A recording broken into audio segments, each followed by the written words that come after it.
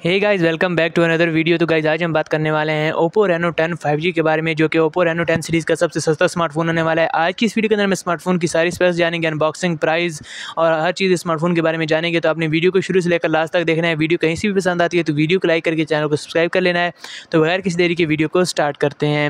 यहाँ पर सबसे पहले अगर हम ओप्पो रेनो टेन फाइव के अनबॉक्सिंग एक्सपीरियंस की बात करें तो बॉक्स आपको यहाँ पर ओप्पो के जैसे टिपिकल बॉक्स होते हैं। वही देखने को मिलता है। बॉक्स के अंदर आपको आपका स्मार्टफ़ोन देखने को मिल जाता है। साथ में एक सिलिकन कवर एक यहाँ पर आपको चार्जिंग ब्रेक देखने को मिल जाती है। ये स्मार्टफ़ोन सिक्सटी सेवन वाट की चार्जिंग सपोर्ट करता है। यहाँ पर आपको सुपर वूक चार्जिंग अडाप्टर देखने को मिल जाता है।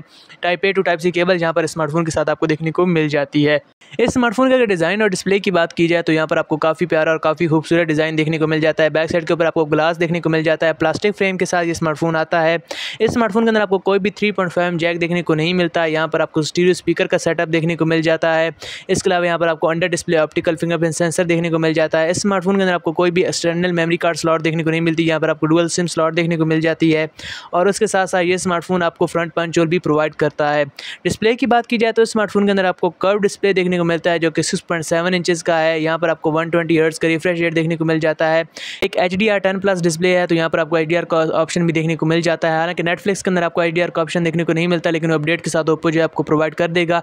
यूट्यूब के ऊपर आप इसके अंदर four K sixty F P S H D R video play कर सकते हैं तो यहाँ पर आपको एच डी आर का ऑप्शन भी देखने को मिल जाता है।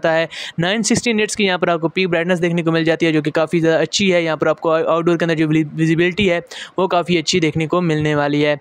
इस स्मार्टफ़ोन के अगर हम यहाँ पर परफॉर्मेंस पार्ट की बात की जाए तो इसके अंदर आपको देखने को मिलता है MediaTek Dimensity seventy fifty साथ में यहाँ पर आपको आठ जी बी की L B D D R four X RAM देखने को मिल जाएगी।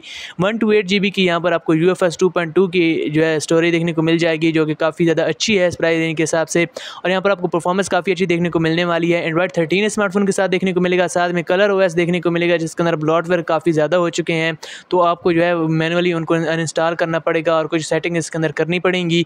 लेकिन यहाँ पर ओवरऑल परफॉर्मेंस की बात की जाए तो काफ़ी अच्छी परफॉर्मेंस है। इस प्राइस के हिसाब से ऑफलाइन ब्रांड का अगर हम देखें तो उस हिसाब से जो परफॉर्मेंस है ओप्पो ने वो काफ़ी डिसेंट लगाई है। लेकिन सॉफ्टवेयर पार्ट इतना मुझे पसंद ओप्पो का भी नहीं आ रहा, क्योंकि यहाँ पर आपको काफ़ी ज़्यादा ब्लॉटवेयर और काफ़ी ज़्यादा अनवांटेड एप्लीकेशन देखने को मिल जाती हैं और काफ़ी ज़्यादा एड्स भी आपको देखने को मिलते हैं।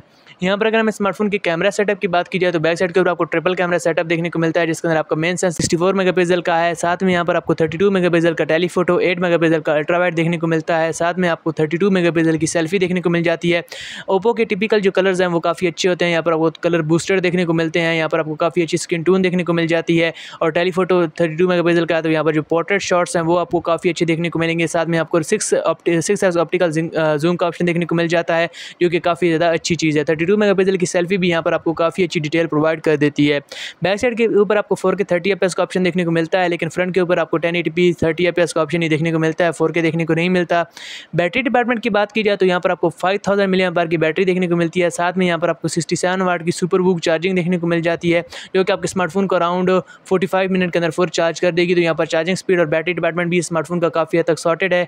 तो ओवरऑल बात की जाए तो अगर आपको कर्व डिस्प्ले वाला स्मार्टफ़ोन चाहिए, और आपको एक ओप्पो का फ़ैन है ओप्पो का स्मार्टफ़ोन चाहिए तो आप स्मार्टफ़ोन की तरफ़ जा सकते हैं। लेकिन यहाँ पर काफ़ी चीज़ें ओप्पो ने जो है ऊपर नीचे की हैं। सॉफ्टवेयर के अंदर सॉफ्टवेयर एक्सपीरियंस इतना अच्छा नहीं है ओप्पो का तो आप जो है स्मार्टफ़ोन को कंसिडर ना ही करें तो अच्छा है, क्योंकि आपको और भी अच्छे ऑप्शन स्मार्ट इस प्राइस रेंज के अंदर जो है वो देखने को मिल जाते हैं।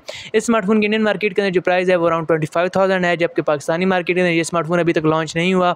और जब लॉन्च होगा तो इसकी जो प्राइस होने वाली है वो एक लाख से ऊपर होने वाली है। बाकी आपकी ओपिनियन है स्मार्टफ़ोन के बारे में कमेंट्स में ज़रूर बताइएगा। वीडियो को लाइक करके चैनल को सब्सक्राइब कर दीजिएगा। Next video really lala face thanks for watching